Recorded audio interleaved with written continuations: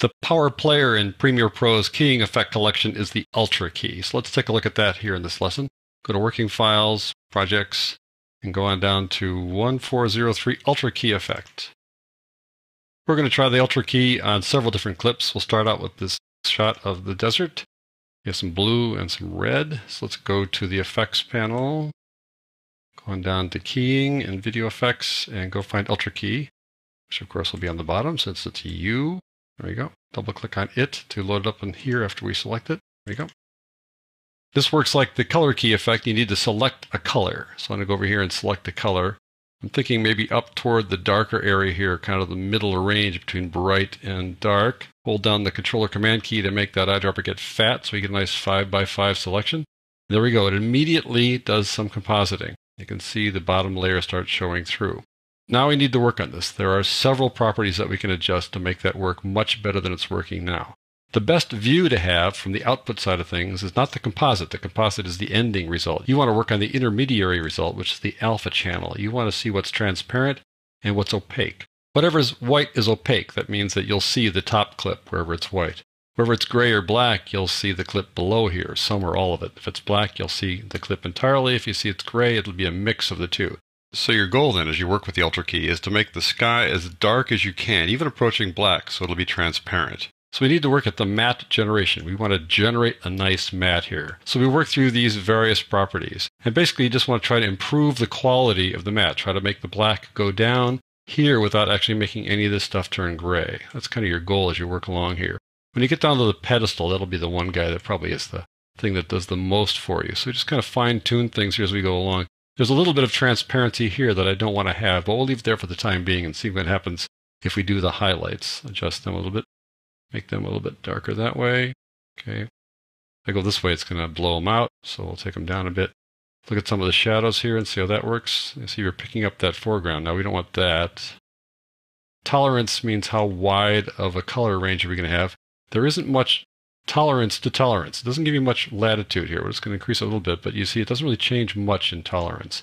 Pedestal is where you're going to see the most effect. That kind of drops the blacks as you move it down this way. So it makes things darker and darker right along there pretty soon it looks like we're going to get it just about exactly where we want. Now we might want to go back here a little bit and try to fine tune this some more. You want to avoid getting transparency here. So that's a pretty good job, all things considered, since we're keying out a natural blue rather than a solid wall of blue. So that's the end of the matte generation side of things. The next step is matte cleanup. You do matte cleanup when you can see what you're doing. So you go back to composite and take a look at it and take a look at your results, which looks kind of cool actually. Matte cleanup allows you to kind of pull the matte in, push it out a bit, soften the edges a bit, that kind of stuff. So let's take a look at the choke. See if we can pull the matte in or out. See, we're pulling it in now, bringing it closer to the objects there in the foreground. There it's out, there it's in. That's a little better, I think, a little tighter. You can soften the edges a bit. There we go. Look for areas of contrast. Well, that really is improving things a lot there. It really brings it down to the ground there where the contrast is greatest. The midpoint doesn't seem to make that much difference as we get down there. I don't think we can fine tune it too much more. This way is not where we want to go, but down here, a little bit more fine tuning. Well, I think we're done now. The spill suppression is intended to be used when you're working with a green screen or a colored background where the color is spilling onto the character in front of the screen. That won't help any. And the color correction really is the equivalent of what's called the proc amp effect, where you can adjust the hue and saturation, things like that, which you can do with the fast color corrector anyways, so that's kind of superfluous. So these first two parts are the most important here, where you're working with nature essentially. Let's move on over to the time lapse, which is something where it's black or it's dark. A whole different kind of scene here, and you wonder if the Ultra key will work on a dark area like this. So we just select this, make it active, double click on it to bring it in, do the same routine as before. I want to make sure I go into the clip far enough where it's really pretty dark, like right around there. The eyedropper tool, hold down the controller command key to make it fat to take that 5 by 5 pixel range. Got that, and bam, look at that already settled down pretty well. Let's look at the alpha channel to see how it works. See, it looks kind of dark gray as opposed to black, so it's not a totally good matte. Go back to matte generation again. Go through the process you did before. Make that area darker. I'm to make it black right there. Pull this down, go to the highlight.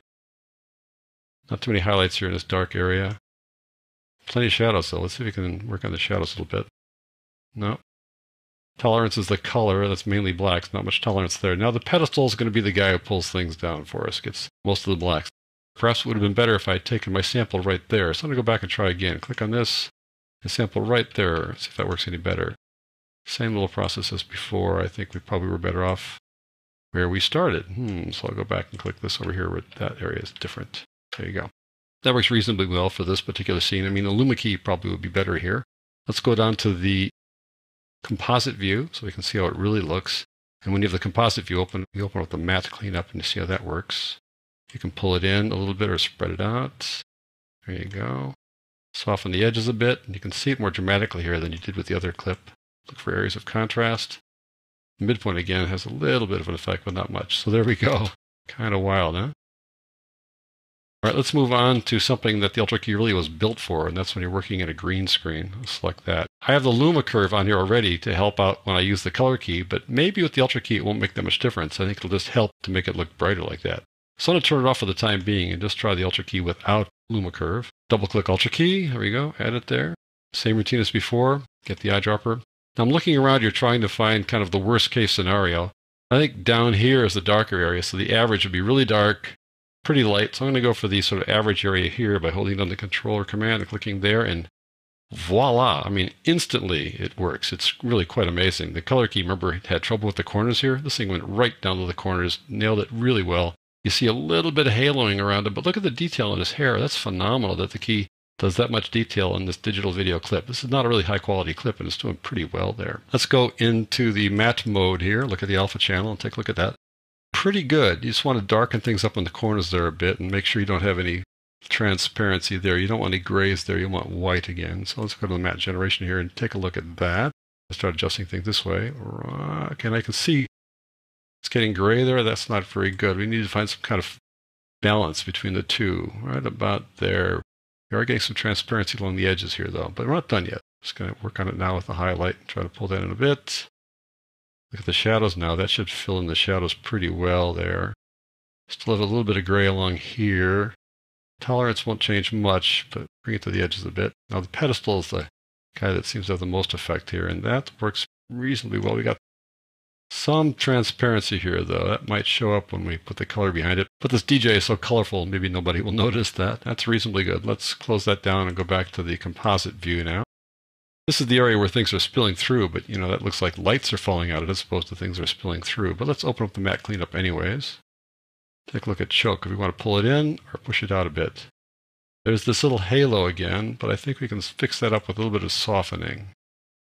Right there, looks pretty good. Looking for some contrast now. Not getting much there. A little bit of tolerance there, a little bit of midpoint there.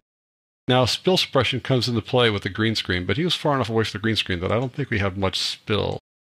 We'll try the desaturate just a bit here to try to take care of that spill along his shoulders there, but there's not much going on there. Yeah, we don't want to take that in too much. I think the spill is pretty good shape anyways to begin with. I don't think we're going to see much spill fix here anyways. So that's how I use Ultra Key, and really the circumstance was intended to be used up against a green screen there. Let's see how this works.